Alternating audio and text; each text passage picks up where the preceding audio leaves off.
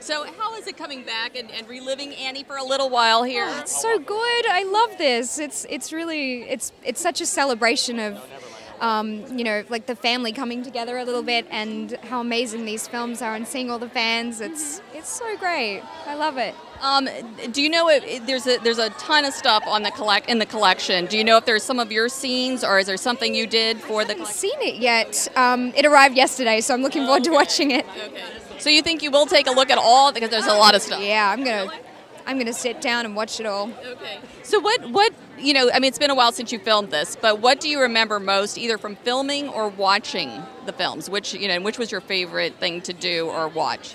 Definitely the filming. Uh, uh, well, I mean the filming and the watching. It, it's it's there's such beautiful films that it, it's cool to be lost in watching it and um, seeing how it translated from the page and came to life. And um, but the filming, uh, there were so many great moments. Like the wedding was such a pivotal, such a beautiful um, symbol of hope and such a, a dark kind of sad time for all the characters. So that was such a nice thing to play. And you've become world famous through this film, and I'm just wondering if you ever had a pinch me moment.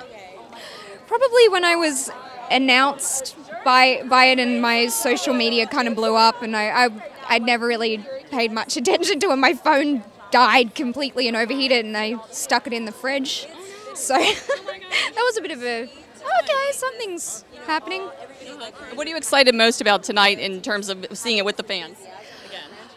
I, I think just just reliving it all. I think this is the sort of films you can keep watching it and seeing different things. And I mean, I've, I've been such I've been so in love with this world that Suzanne created for such a long time. I read all the books and it I, I can never get enough of it. That's great. And one last thing, what are you working on now, or what do you have coming up?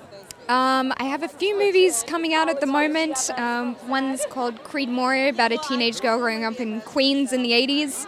Another one is a film called The Lennon Report about the shooting of John Lennon.